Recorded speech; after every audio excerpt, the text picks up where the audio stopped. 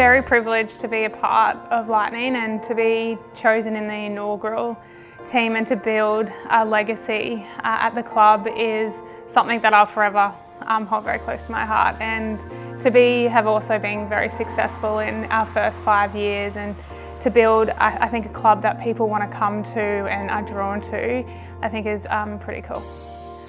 I think it's actually one of the hardest things in sport. Not many sporting teams uh, after they win a premiership can back it up. So to be able to win two premierships in a row and then make a third grand final and then to still be in the mix and make two consecutive uh, finals after that is, uh, is something really hard and something that I'm very proud of that our club has been able to do. To be a, a sustained performer, you can't do the same thing over and over because people will look at you and try and work out what you're doing really well and try and combat that. So constantly being able to evolve while you still got your brand of netball you want to play, but what else you can layer on top of that because you are the hunted. So you've kind of got to make sure that you do some little tweaks to your game. Yeah, to have the best in the business as our support staff um, is really important because they're the one that put the program together for us to be successful. We're the one that have to go out there and um, execute whatever game plan is put in place, but strength and conditioning is the one that's getting us fit enough to run whatever game plan we are.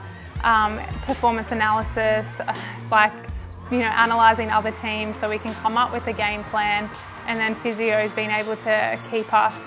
uh, injury free and being able to perform week in, week out. And there's heaps of people behind the scenes that it takes for us to be uh, the team that we are on court. Yeah, I never really saw myself as a leader and it wasn't until Kylie and Knowles pointed out um, the influence I can have on other players that opened my eyes that I can play a massive role in how people feel um, out on court and if I'm in a bit of a mood that does radiate to other um, teammates. So for me the past few years has that's definitely opened my eyes that the influence I can have on people around me and um, making sure that I'm in the right headspace um, to help the team. Culture is massive, I think, in any uh, team success, and I don't think culture is something that's written down in a book and you get handed handed it and say this is what we live by. I think it's something you need to create, and it's an environment that you can walk into, and it's something that you um, you learn by actually living it. You can learn, I think, a lot about yourself, and you can reflect and um, have some honest feedback with you know yourself personally, but I think it's really important to be able to build relationships um, and have a good relationships with people so you can have those hard conversations because sometimes they need to be had and they're uncomfortable and no one likes to have them but being a really successful team they need to be had and I think that's really important to be able to be a sustained performer.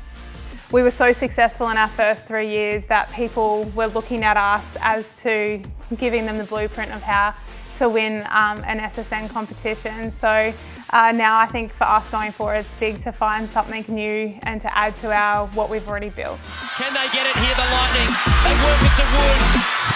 to win the game,